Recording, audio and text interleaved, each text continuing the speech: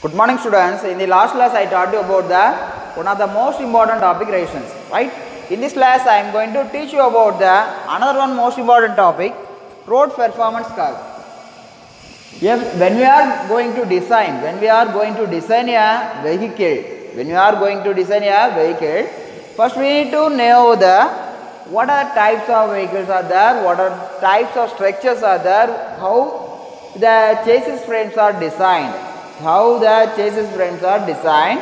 After that, we need to come to the actual performance, actual performance of the vehicle design, actual performance vehicle design, right?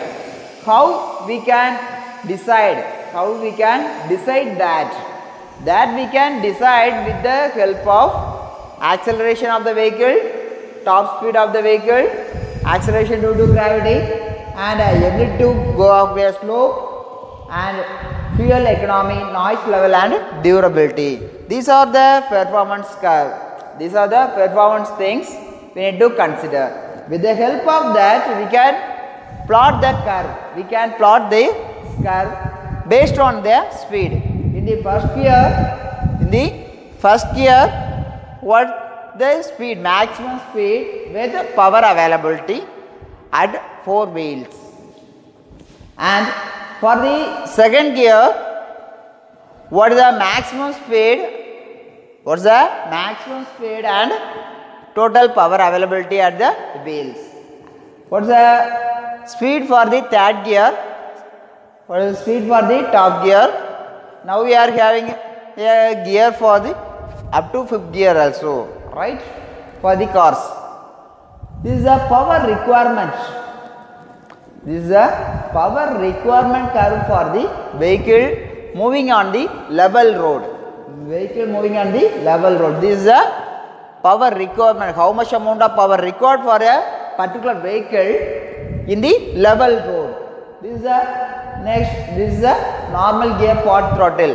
When we are uh, putting the idle idle condition just switch on the just start the car. Just start the car. It's not moving it's not moving condition. Just start the car. That condition how much amount of fuel enter into the engine? That is the throttle condition. Throttle what's the purpose of throttle? Supply the fuel into the engine. Supply fuel into the engine right? Uh, this will meet in the power required of the vehicle on the level road that is the the meeting point is the desired low road speed. That is the desired road speed. Then this will reach the top gear speed. Top gear speed that is the maximum possible road speed. Maximum possible road speed. Right? This is the performance curve. This is the performance curve of the vehicle. Other another one type of vehicle curve also available uh, with respect to the vehicle speed and tractive effort right? Next uh, next topic we are going to study about the acceleration. Already we know acceleration. What is my acceleration? When you are give the acceleration the vehicle move forward. Vehicle move forward direction right? It give the movements. It give the movements to the vehicle. It give the movements to the vehicle with the help of the moments, the load the load of the vehicle will move move into the effective weight.